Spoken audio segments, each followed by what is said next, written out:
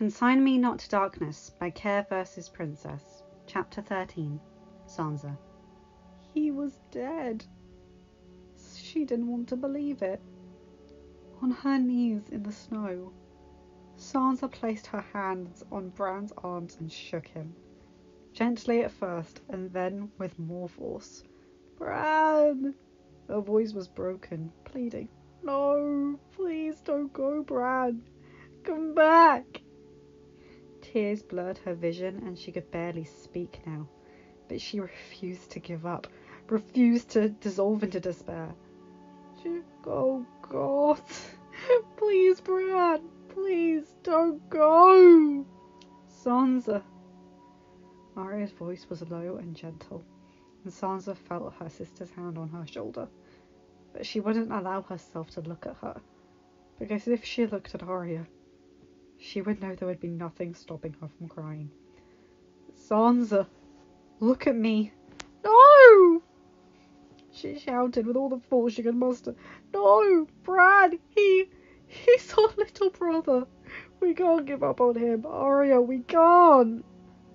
Sansa! She heard Arya's voice falter and she finally forced herself to turn around, finding tears running down her sister's cheeks as she cried silently. He's gone. She could not remember the last time she had watched Arya cry, and that's what did it for her. The first sob forcing its way out of her throat, Sansa got to her feet and wrapped Arya in an embrace, burrowing her face into Arya's hair as she wept openly. He was dead. Her little baby brother, dead to save them all. And now, as she and Arya held each other, Sansa allowed herself to weep for all those that she had lost. A father, a mother, a wolf, and now three of her brothers. There was a rustling sound amongst the trees, followed by boots crunching in the snow.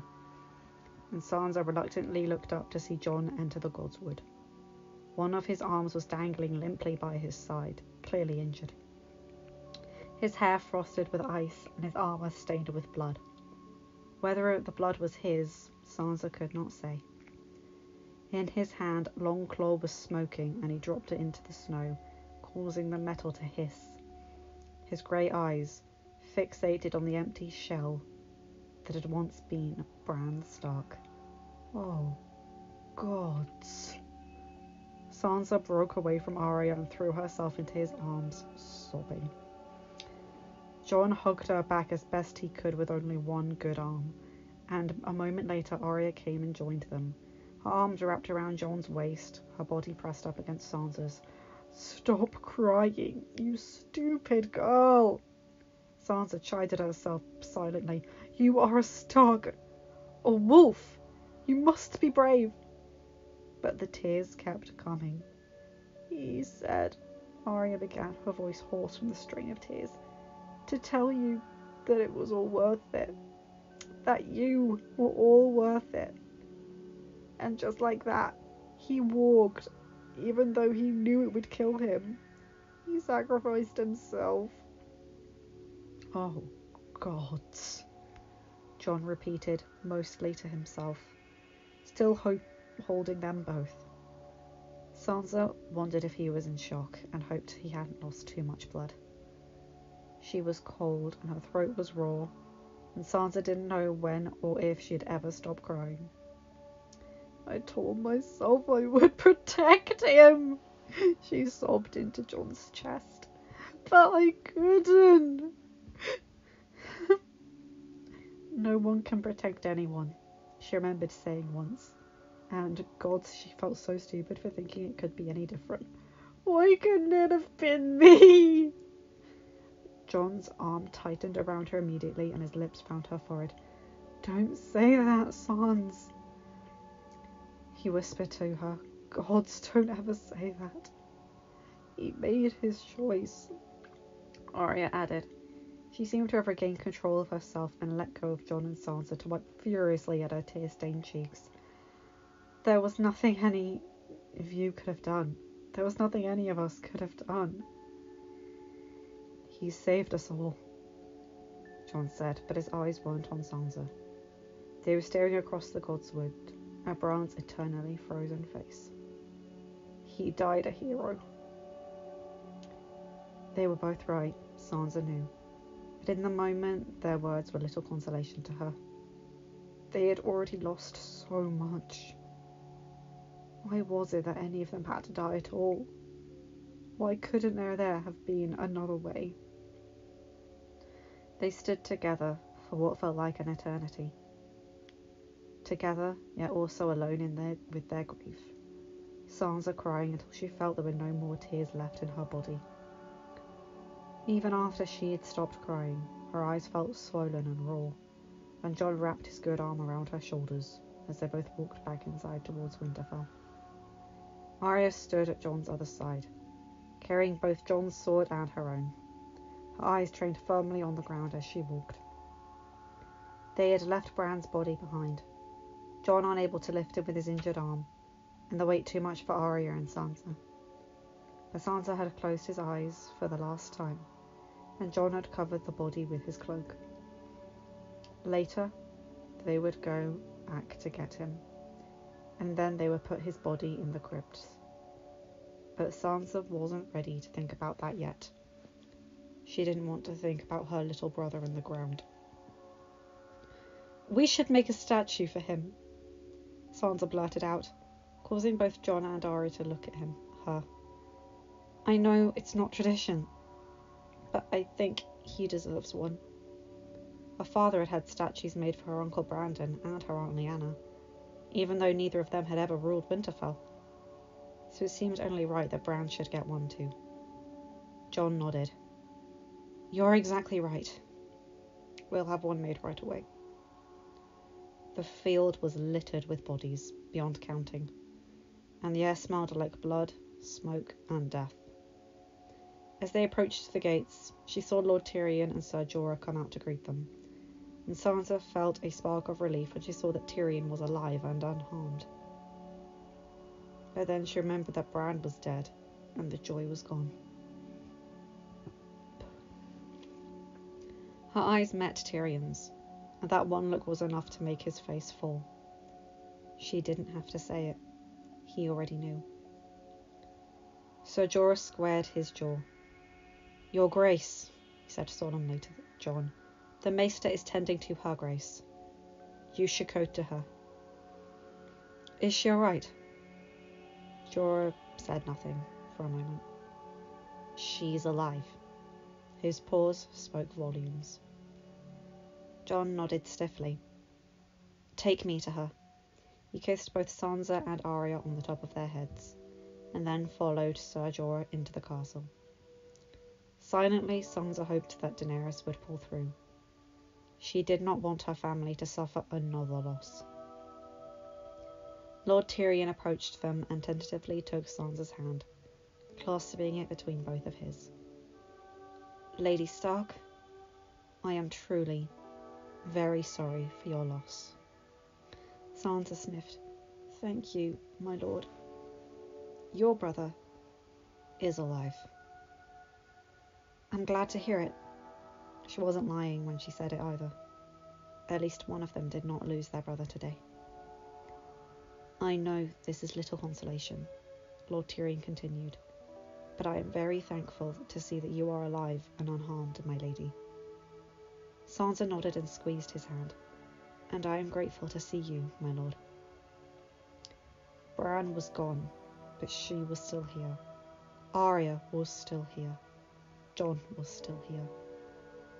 The pack survived. For now, that had to be enough. Brienne. He was dead. The battle was over. The living had won. But Brienne remained in place, knelt in the snow. Podrick's limp body in her arms. I'm so sorry, she whispered, even though she knew he could not hear. Her words carried away on a northern wind. He had deserved much more than this. He hadn't deserved to die.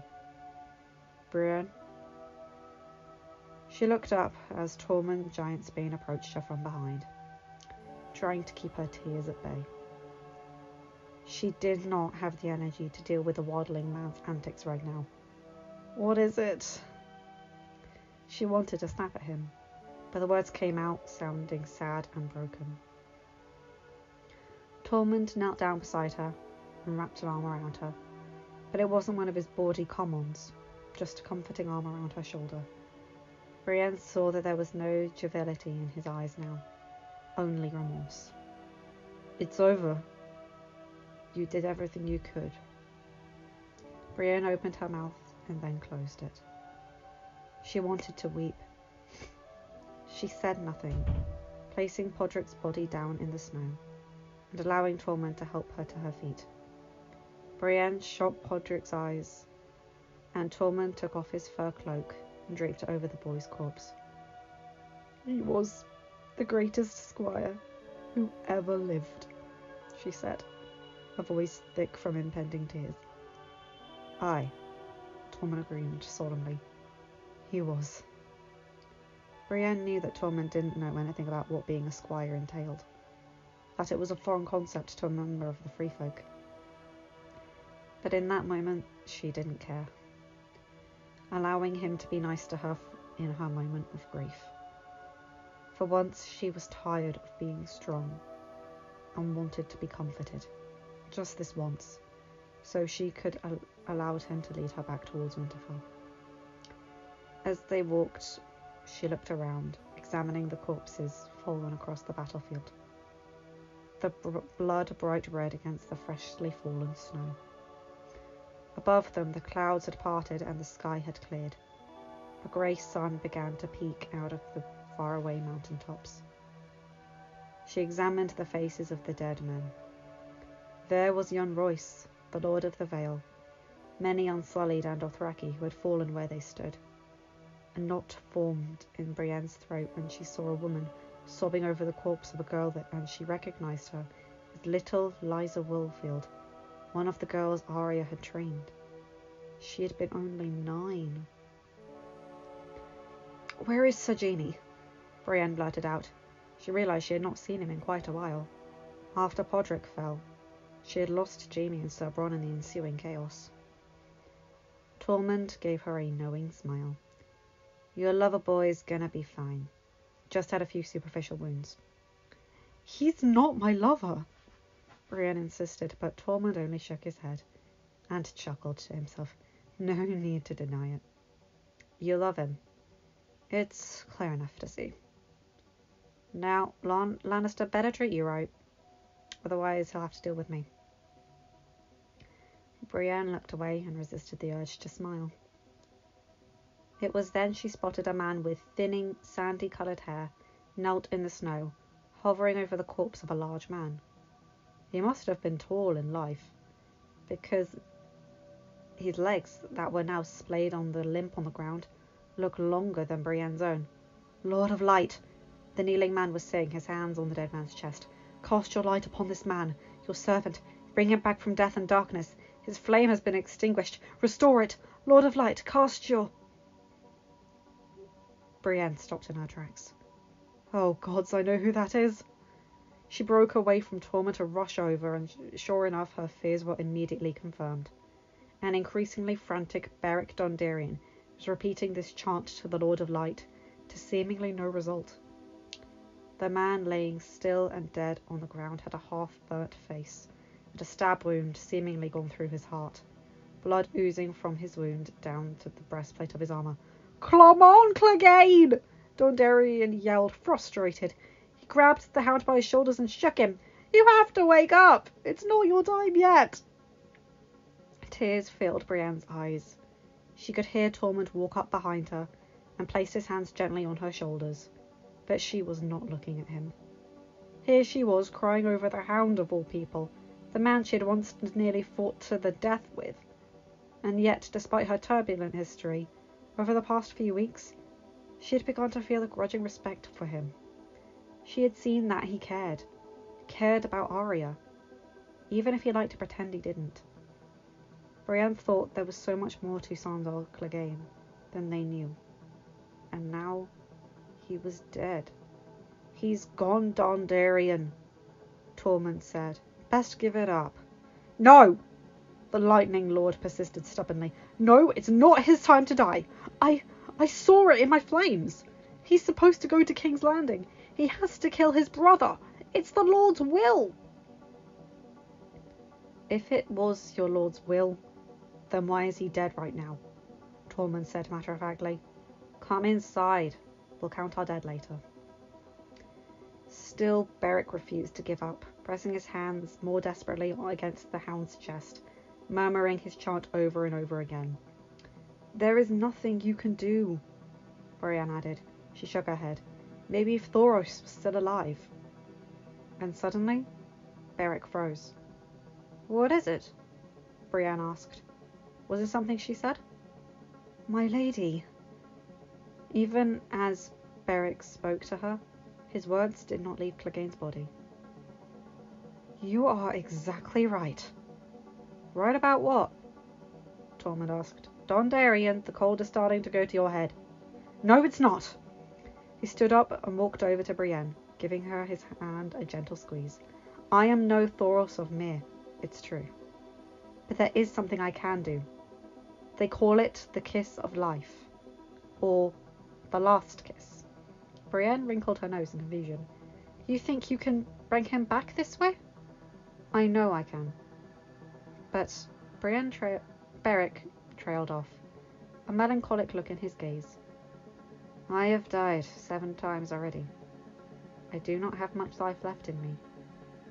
If I bring Clegane back. He didn't finish the sentence, but Brienne knew what he meant. And it seemed Tormund did too. Sacrifice yourself? He said. Are you out of your mind? Beric smiled, but there was no joy behind it. Possibly. He looked at Brienne. Can you tell the boy I'm sorry I sold him? I thought it was the right thing to do at the time. And as for Arya, well, you can tell the girl it's one more name off of her list.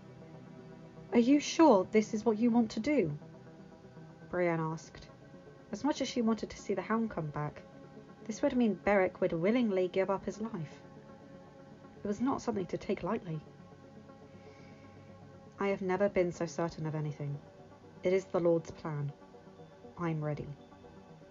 His voice was firm, eyes resigned to his fate. And so Brienne forced herself to nod. I'll tell them. Goodbye, Lord Beric. Goodbye, Lady Brienne. Tormund was not particularly good at emotional goodbyes, so he nodded his head and clamped a hand on Beric's shoulder. You're a good man, Beric Dondarrion. As are you, Tormund Giantsbane. Dondarrion knelt down in the snow again, placing his hand on the hound's bleeding chest, and closing his eyes for prayer. Lord of light, cast your light upon us all. And then he brought the hound's lips to his. At first, it looked like nothing had happened, and Brienne thought it hadn't worked. But then she heard Tormund's sharp intake of breath. When she looked again, she saw that the blood was no longer dripping down the hound's armor, and she watched in awe as one of his legs twitched, then moved. Dondarrion smiled ever so slightly, and with that final smile, he collapsed onto the ground. The hound opened his eyes. Arya. She wanted, more than anything, to go back to that morning. This couldn't be real. Maybe if she shut her eyes, she'd opened them and realized that this was all a dream. She'd be back in the forge, wrapped up in Gendry's arms, warm in his embrace even though the fire had gone out hours ago. And Gendry would smile at her in that way that made her stomach flutter. Bran would be alive, and she would be with Gendry. Both of them alive and safe and whole. But this was no dream. Her little brother was gone. Her pregnant sister in law had just taken a tumble from a dragon that could possibly kill her. And in her mind, she was replaying that moment over and over again of how she had watched Gendry fall injured in the snow. Arya and Lord Tyrion saw Sansa up to her room, Her sister had stopped crying now and seemed to have gotten a hold of her emotions, though she wanted to lay down and try to sleep. I'll be all right, she told Arya, but it's been an exhausting day, and I want to be alone for a while. Lord Tyrion agreed, saying some rest could do them all some good, and excused himself to retire to his chambers. Arya kissed Sansa on both cheeks and saw her sister into bed and closed the door on her way out. Arya couldn't sleep though. There were too many thoughts buzzing around her mind, and she knew sleep would bring her no peace, if she could even sleep to begin with. She could go and check on Daenerys, but Jon was with her now, and he probably wanted to be alone with his wife. She could go and make sure Bran's body was being tended to properly, but Arya knew the sight of her brother's corpse would likely only make her cry again. No, what she needed was Gendry. She needed to look upon his face to make sure he was all right. And if he wasn't all right, she wouldn't allow herself to even think that. She could not lose Gendry the same day she had lost Bran. The thought was too horrible for her. There is only one God, and his name is Death, Arya told herself. And what do we say to the God of Death? Not today. She looked all over the castle and found no sign of Gendry. The casualties were being brought in on stretchers, and the dead piled up in the courtyard to be identified and ultimately buried. The injured brought into the Great Hall to be treated. Arya walked up and down the Great Hall and didn't see Gendry anywhere. And then, with a heavy heart, she looked at the dead bodies, and, luckily, did not find him there either. She walked back out onto the battlefield. Hundreds of men were still lying there where they had fallen, and healers were treating those with the most urgent injuries on the field. As Arya walked around, she spotted Sir Davos, but any relief she felt at seeing a familiar face waned when she saw that the Onion Knight was forlornly watching a stretcher that was carried towards Winterfell. Gendry! Sir Davos! she called out as she walked towards him. Gendry! Is he? She couldn't bear herself to speak the word. He's alive, my lady. Davos assured her, and Arya exhaled. But I think you'd best go back inside. Arya's gaze blazed stubbornly. She had not come this far just to be turned away. I will see him. She tried to brush past him, but Sir Davos wrapped his arms around her, holding her back. My lady, he began to say, he is in a sorry state. I don't think you should see him like this. But Arya didn't care about that. All she could think about was getting to Gendry no matter what, and she would be damned if she let anything stop her. Let go of me, Sir Davos! She didn't want to yell at the old man, but when he refused to release her, she raised her voice. Let go of me! Milady! Arya didn't even let him finish his sentence, instead bursting from his grip and racing across the field towards Gendry before Sir Davos could even blink. She practically catapulted herself at the stretcher and wrapped her arms around Gendry's waist. He was not warm like he was this morning. He was just cold. But his chest was still rising and falling proof that he still lived.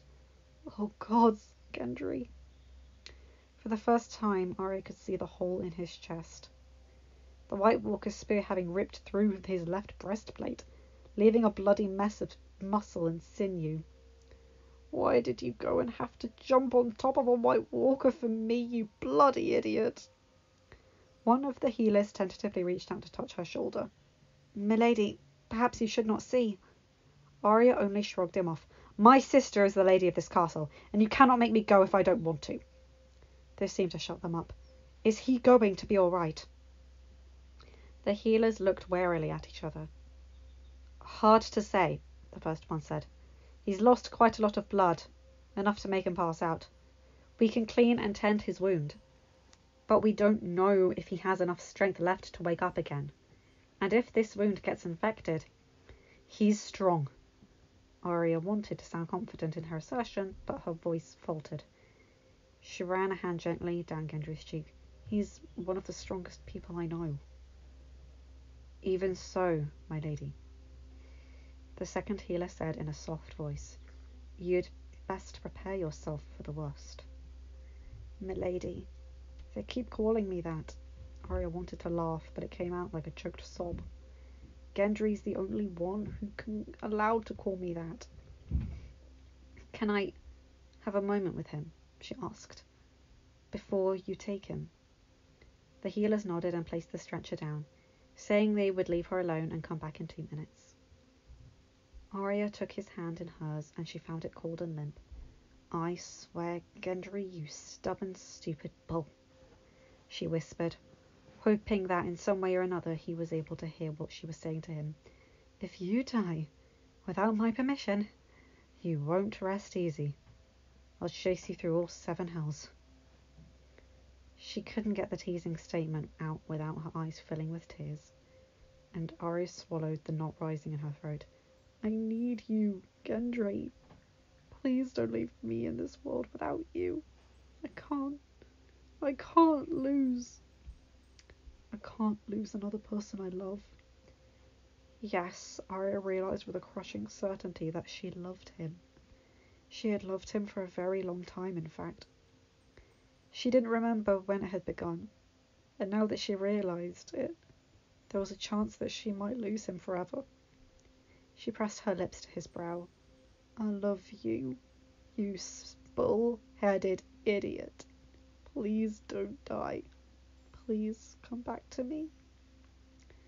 Soon after, the healers returned, and Arya reluctantly pulled away, after one last squeeze of Gendry's hand allowing them to carry him inside. She was so lost in her own thoughts that she did not hear Sir Davos approach her from behind and until his hand gently touched her shoulder. Milady. Arya said nothing, only turning around and collapsing against the older man's chest, tears flowing before she could stop them.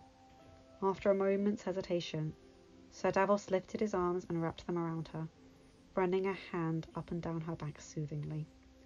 I know, Lady Arya. I know. And for the first time in a very long time, Arya Stark let herself be comforted. Jon. When he got up to their chambers, Daenerys had been placed down on the bed. Maester Wolkan was there to look her over. Sam was in charge of stripping her armor off of her while Gilly sat by her bedside wiping the blood from her face with a damp cloth.